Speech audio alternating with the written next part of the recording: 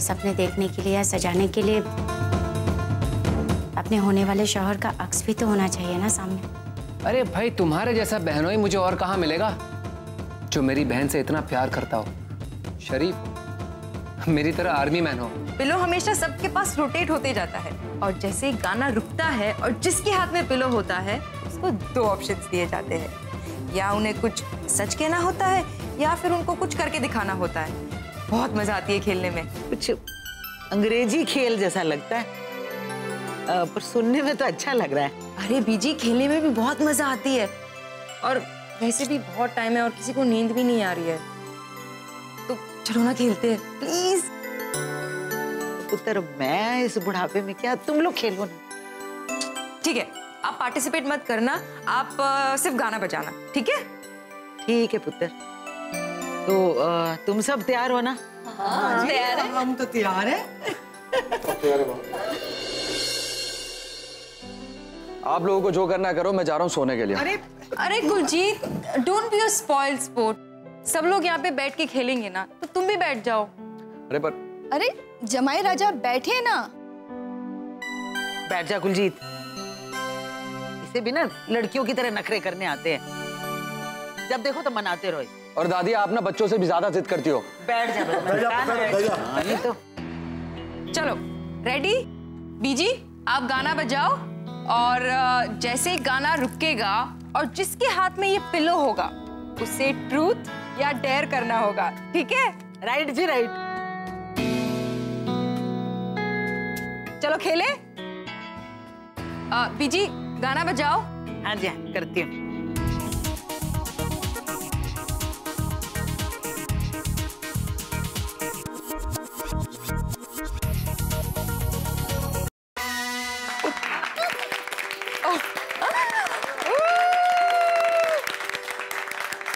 फंस गया? Aunty ji aunty ji aunty ji चलो आप पूछो। ट्रूथ और डेयर डेयर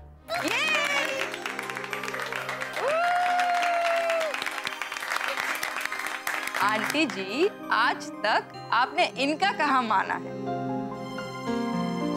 आज उनकी बारी है। चलो पूछो क्या करना होगा?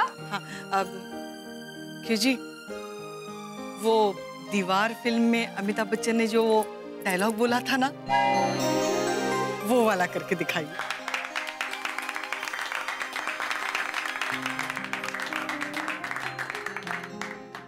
आज मेरे पास गाड़ी है बंगला है बैंक बैलेंस है। तुम्हारे पास क्या है, है? मेरे पास तो आप है। सबके जवाब?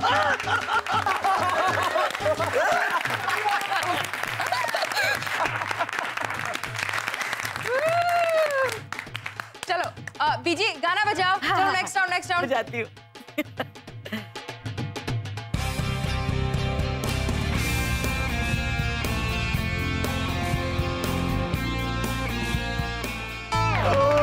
बदला बदला बदला। नहीं नहीं नहीं नहीं।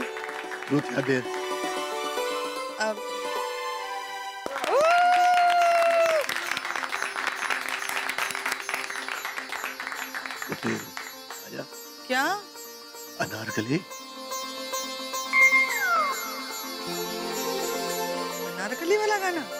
आजा। कर दे बहू तू तो बहुत अच्छा डांस करती है। तो पापा नहीं।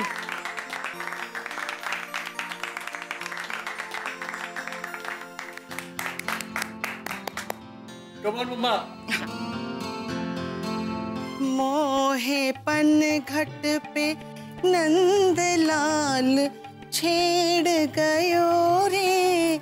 मोहे पन घट पे हाँ मोहे पन घट पे नंदलाल छेड़ गयो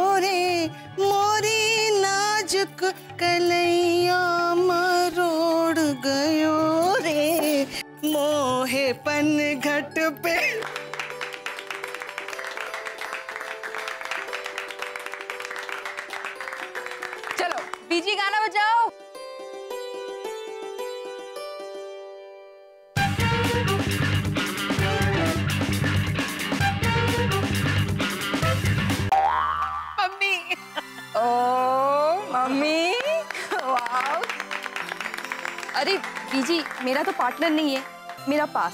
ऐसे कैसे पास?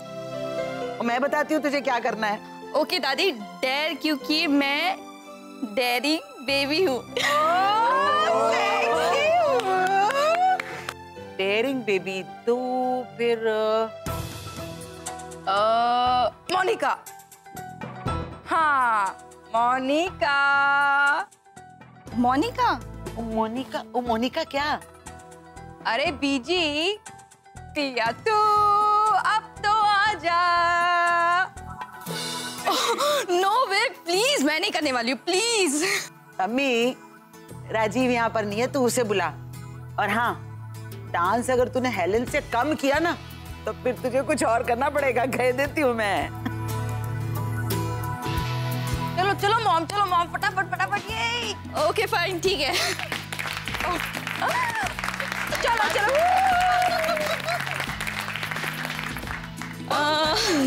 गाना तो गाओ अरे बहू गाएगी ना बहू तू गा दे साथ में। अच्छा ठीक है ठीक है। अ, पिया तो पिया तो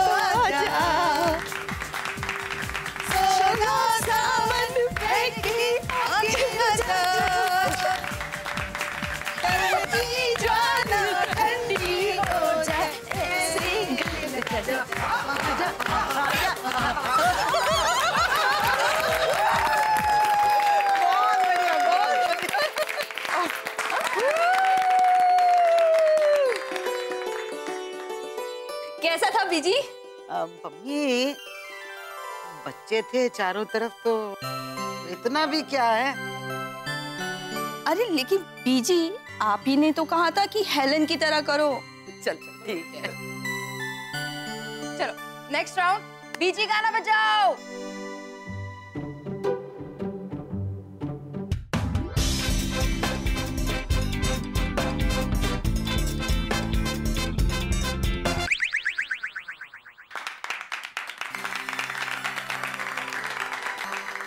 ट्रूथ और डेयर ट्रूथ और डेयर या ट्रूथ और डेयर कम ऑन ट्रूथ और डेयर डेयर ओ हम्म अच्छा कुलजीत अब तुम बताओ कि निशा को क्या करना है? कुछ भी कर लो। अरे no no no no no ऐसा नहीं होता है। मेरे सरताज आप कि मुझे क्या हुक्म करना पड़ेगा? ओ हुकम कर हुकम कर। बोल ना। ओए पंजाब का गबरू है। टक दे फटे। पक्का? पक्का। I can do anything anything yes anything सोच लो एक बार। Okay okay. तो तुम्हें एक सॉन्ग पे एक्ट करना होगा। और तुम्हें वही एक्ट करना होगा जो वो सॉन्ग सजेस्ट करता है। एंड द कैच इज़ तुम जो भी करोगी, वो बिना बोले करोगी। और कुछ ऐसा करो कि सबको समझ में आ जाए कि तुम करना क्या चाहती अंडरस्टैंड माई पॉइंट तुम्हें वो सॉन्ग को ऐसे एक्ट करना है कि उस सॉन्ग के सारे एक्सप्रेशन तुम सबको समझा दो, लेकिन बिना बोले। Can you do that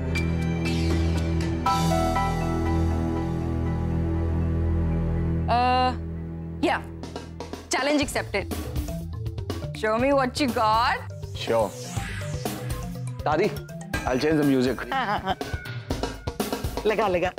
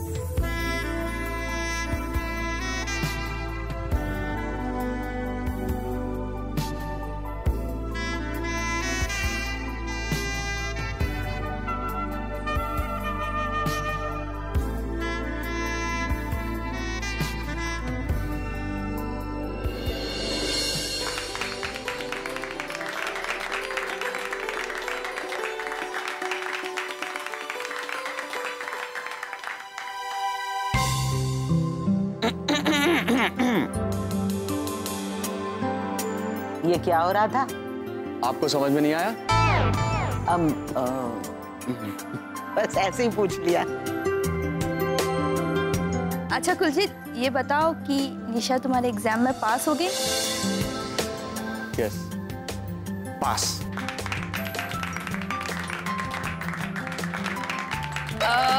चलो बीजी वापस से गाना लगाओ फटाफट। दादी मेरा फ़ोन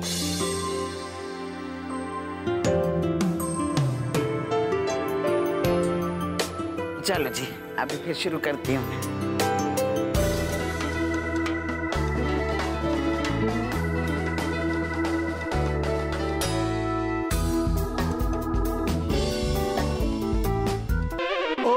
उत्तर फंस गया। अब आया ऊँट पहाड़ के नीचे। क्या देर। बोलो बोलो। डैर अच्छा निशा बेटी अब इस डूड का ना डूड बना दो। हम्म। हाँ कुछ ऐसा ही करना पड़ेगा जिससे ये डूड डूड हो जाए। रियली दस सौ जी क्या करना है? अह, चलो प्रपोज टू मी और अह, तुम्हारा प्रपोजल जेन्यून होना चाहिए। कुछ एक्टिंग वैक्टिंग नहीं चलेगी। यस बता दे तू भी पंजाब की शान है कुलजीत और दिखा दे पुत्र तू भी शेर दा पुत्र है। पंजाब दा गबरू है और चख दे फटे उन। Get a man do it okay Kuljeet English कुड़ी है तो इंग्लिश स्टाइल में हाँ। इंग्लिश चल चल जल्दी कर। ओके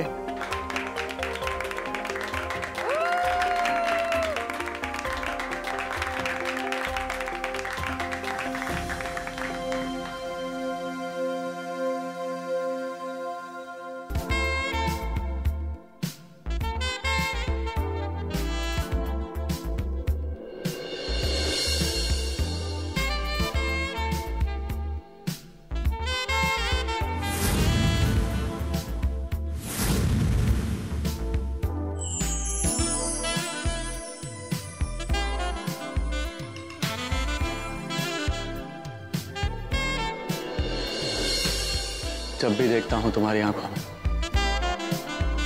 तो ऐसा लगता है जैसे मेरी ज़िंदगी की हर मुराद इन दो आँखों से पूरी होगी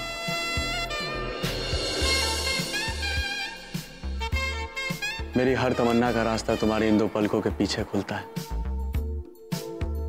मेरी ज़िंदगी में खुशियों की सौगात हो तुम।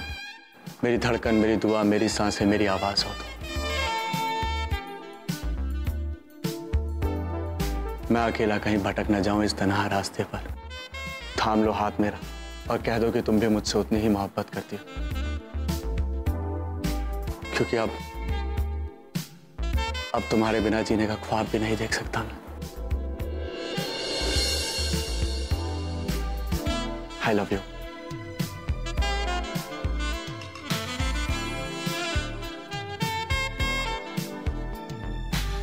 I love you Preet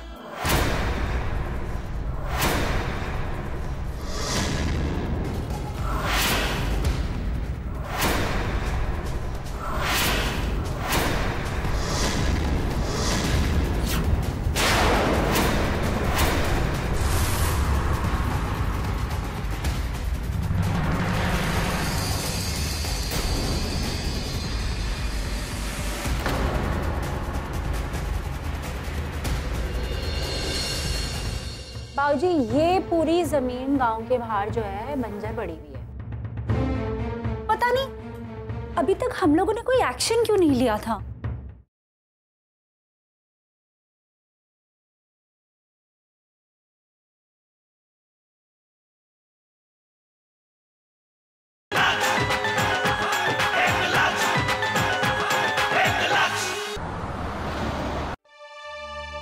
देखिए ना बाबूजी ये है वो पूरा फ्लोर प्लान सारी फैक्ट्री का ब्लूप्रिंट देखा है पुत्र?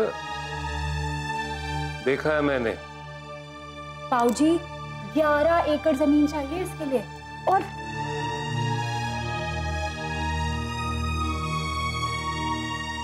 ये देखिए बाबूजी ये पूरी ज़मीन गाँव के बाहर जो है बंजर पड़ी है.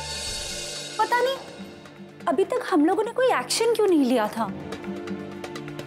शायद शायद गाँव वालों की आपसी प्रॉब्लम की वजह से। मैं मानती हूँ कि एक मिनट एक मिनट। बाबूजी ये देखिए। अगर ये रिक्वायर्ड लैंड यहाँ की बजाय यहाँ अरेंज हो जाए तो? हो सकती है क्या बाबूजी उत्तर उन लोगों ने सर्वे ये यहाँ सर्वे किया था। बाबूजी दोनों तरफ़ सेम लैंड है। बाबूजी आप प्लीज़ मुझे ये बताइए कि ये ज़मीन किसके नाम पर है, ताकि मैं उसे कन्विंस कर सकूँ?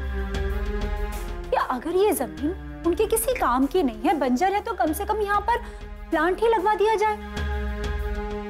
ये ज़मीन तो पुत्र संतोख सिंह की है पर उसका भाई बलदेव सिंह उस पर अपना दावा बताता है।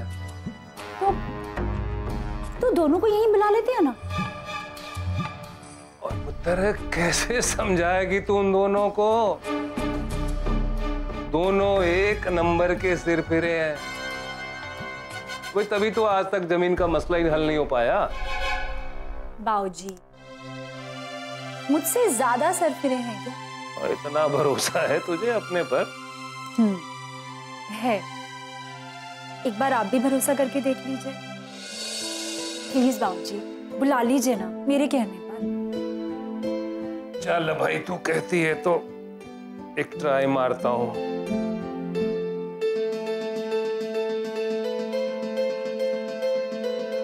ओए संतो ज़िंदा रहो ज़िंदा रहो। कोई काम कर एक घंटे विच पंचायत भवन पहुँच जा हाँ कुछ ज़रूरी है आजा आजा आजा हाँ जी हाँ जी बस बाबूजी हम्म क्यों ना उसके भाई को भी बुला लिया जाए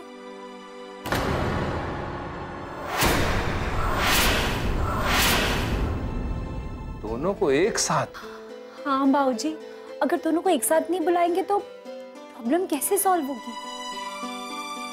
प्लीज़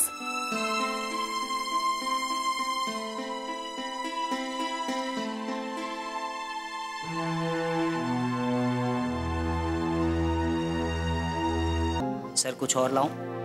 नहीं शुक्रिया।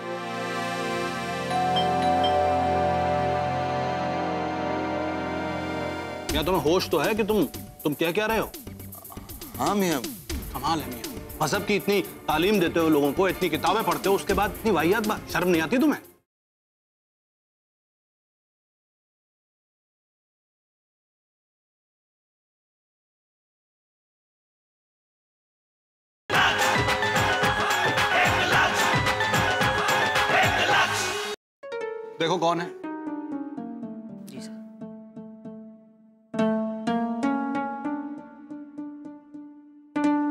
सलाम इमाम साहब वालेकुम अस्सलाम। अरे रफीक मियाँ। अरे रमज़ान मियाँ क्या बात है भाई? आइए आइए भाई आइए। नाश्ता कीजिए। अकेले अकेले ब्रेड मक्खन उड़ाया जा रहा है? बैठिए तशरीफ़ रखिए।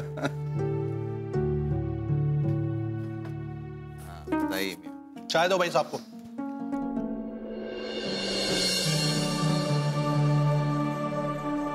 सब खैरियत तो है? हाँ मियाँ सब खैरियत है। शुक्रिया। तो फिर अचानक कैसे? अरे मियाँ बस खैरो खबर लेने आ गए और क्या? एक घंटे का सफ़र तय करके आप आप मेरा हालचाल जानने के लिए यहाँ आए। हाँ बिल्कुल। चलो मान लेते हैं। अपनी बताओ कैसे हो? भाई एकदम दुरुस्त हूँ तुम्हारे सामने हूँ।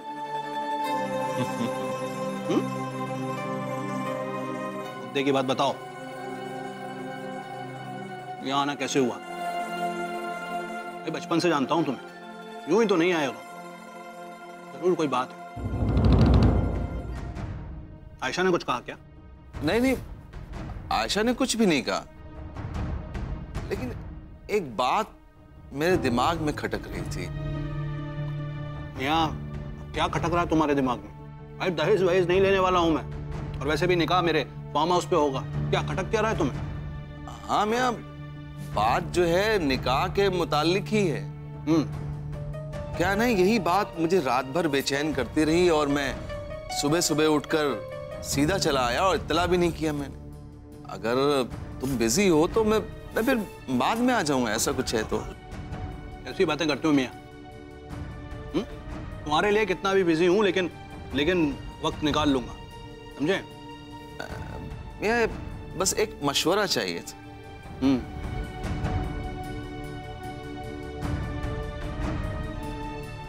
मियाँ मशवरा लेने के लिए तुम यहाँ आए हो हाँ? मशवरा तो तुम फ़ोन पे भी ले सकते थे। सीधी सीधी बात करो तुम्हारे सठियाए हुए दिमाग में क्या है खुल के बताओ। देखो मियाँ ये तो तुम भी जानते हो कि ये निकाह थोड़ा अलग है। आयशा एजाज ने अपने शरीके हयात खो दिए लेकिन वो अपने महबूब से बहुत मोहब्बत करते रहे। यार ये तुम बातों को गोल गोल क्यों घुमा रहे हो? मुद्दे पे आओ भाई मुद्दे की बात करो। मैं चाहता हूँ मियाँ कि एजाज और आयशा जो है ना एक दूसरे से निकाह से पहले थोड़ा मेल जोल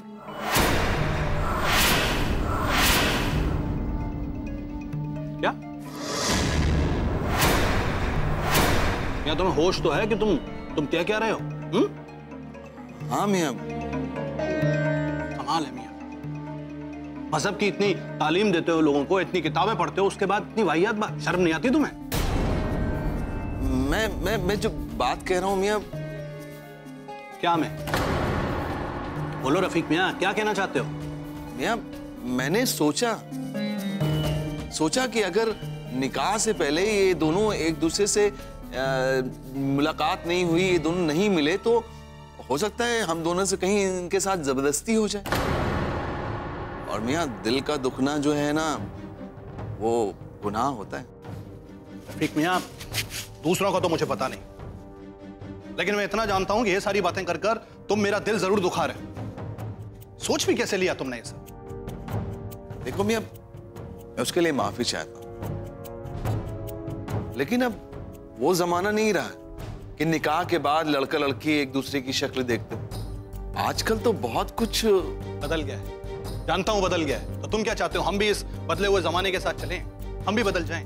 देखिए मैं आपको समझाने की तो समझाइए समझाइए इमाम साहब समझाइए। हम समझने के लिए तो तैयार हैं। कहना क्या चाहते हो? ठीक ठीक बताओ हमारी समझ में कुछ नहीं आ रही तुम्हारी बात। वही बात समझाने की कोशिश कर रहा हूँ मियाँ।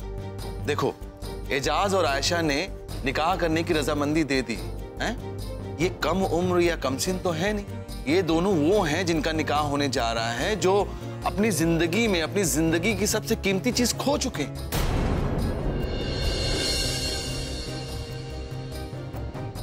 बताइए ना क्या बात है?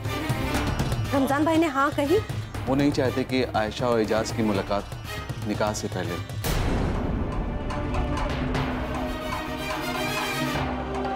अमरीक भाई साहब की मौत हो गई। पर कुछ दिन पहले तो हरमिंदर साहब में मिले थे मुझसे साथ खाना खाया था। चाहे बंजर ही सही लेकिन मैं अपनी ज़मीन पंचायत को नहीं दूँगा। क्या बात कर रहे हैं आप? सारी चीज़ें एक एक करके मुझसे छीन लेना चाहते हैं? अगर तुझे जोगी और उसके परिवार को सड़क पर लाना है तो जैसा मैं कह रहा हूँ ना तू वैसा कर।